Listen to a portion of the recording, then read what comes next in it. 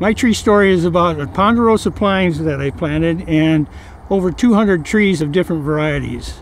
I purchased uh, 17 acres of land outside the Wisconsin Dells. And it had uh, tillable land but it also had a lot of trees.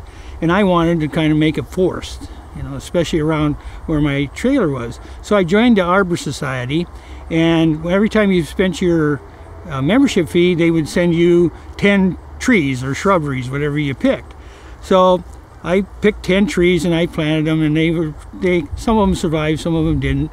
So then I decided, well, I would like ponderosa pines. Didn't, ponderosa pines are not really susceptible to Wisconsin, I find out later, you know.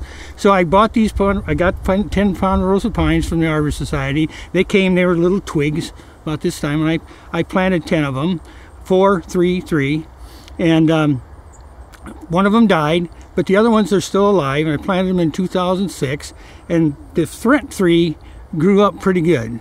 The middle three are kind of suffering, and the back three they grew tall, but they got no pines on them. I mean, no needles on them hardly. I got to cut them down. They're just little circles. The other ones are bigger. I also bought over 200 trees from the uh, Sauk County uh, environmental thing. They they had special deal on them.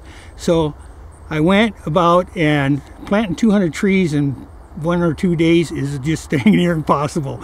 So my cousin came over to help me, and I think we have a survival rate of about 25 out of the 200 that I planted. But I had big aspirations, but now I think you've got to do more research and you got to know how to plant your trees. That's what I learned because I think I made many mistakes, especially on the water.